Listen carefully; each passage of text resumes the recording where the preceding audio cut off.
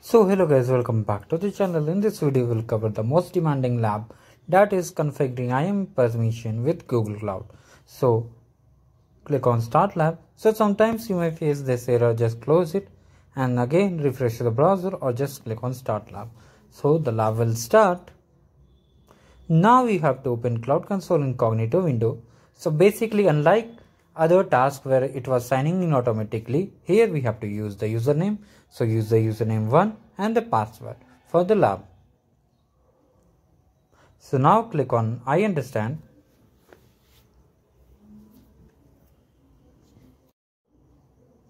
Now click on i agree then agree and continue. Now we will activate the cloud shell. So click here to activate the cloud shell Meanwhile, in case you haven't subscribed to the channel, do subscribe it and like the video. So now wait for the Cloud Shell to activate. Now click on continue. Now click on authorize.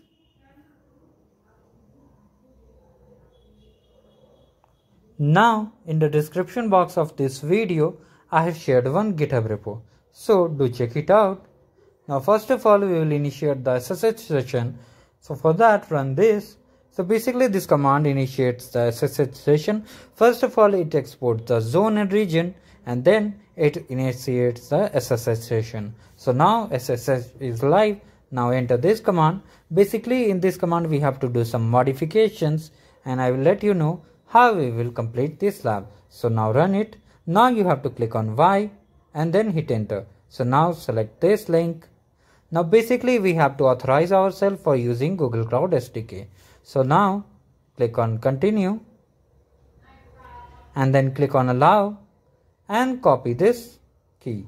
So now enter it and then hit enter. So finally we are logged in. Now wait for this command to execute. Here we have to do many multiple tasks. So wait for it and do the follow the video step by step.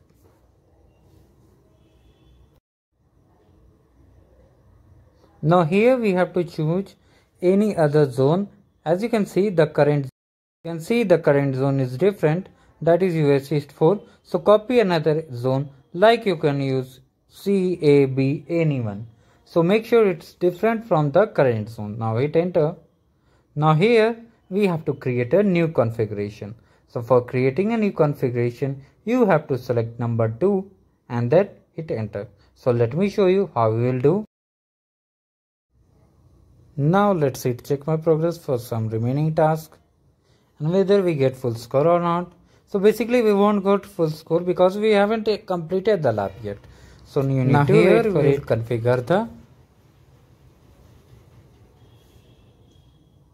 So click on 2 and then hit enter. Now we have to name the configuration. So basically it will be user 2. So just type user 2 or you can go to task task 4 so as you can see let a minute. So finally it's here.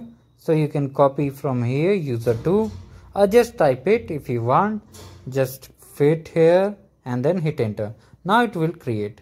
Now here we have to select the student id so for that we will move forward to the lab instruction and i will show which student id you have to select. So make sure there is only not any other numbers here.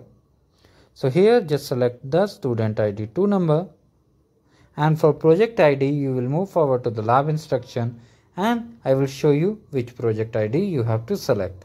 So basically we have to select project ID 1. As you can see make sure to match the numeric numbers as I saw here. So as you can see finally it's matching here.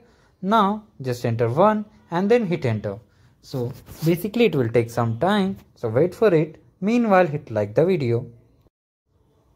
Now we have to modify the IAM permissions for the service accounts. So for that you need to click on the console link as you can see here. So just click on it.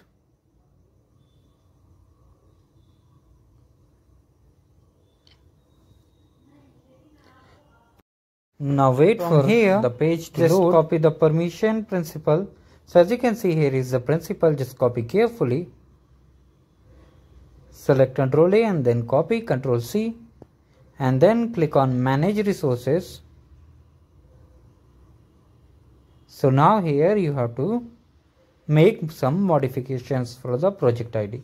So select the project ID and we will verify the project ID to here. So let's move to the lab instruction. As you can see, now scroll down a bit. The project ID 2 is this only. Make sure to select project ID 2 only. So now add principal. Now here just paste the service account username and then for the role click on basic and then select owner now click on save now wait for this policy to get updated now here select y and then hit enter. We will get error because we have to select capital Y here. So just use capital Y here and then hit enter. Otherwise you may face error and you won't be able to complete the task. So now hit enter. Now wait for these commands to execute. Here basically it will populate some rules and we will move forward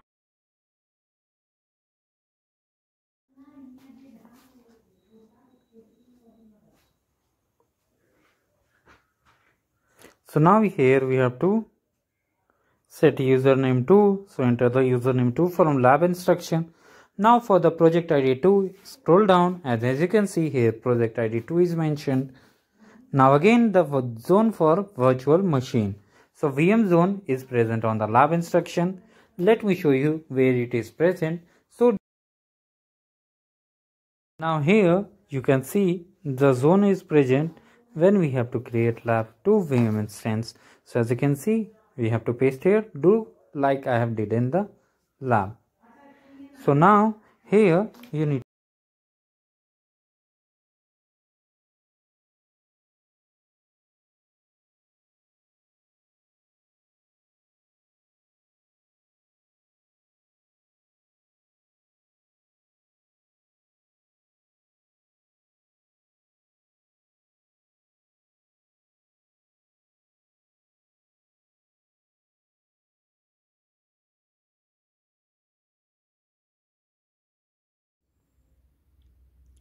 Now finally we got full score that's the way we have to complete this lab. Do like, share and subscribe to the channel and thank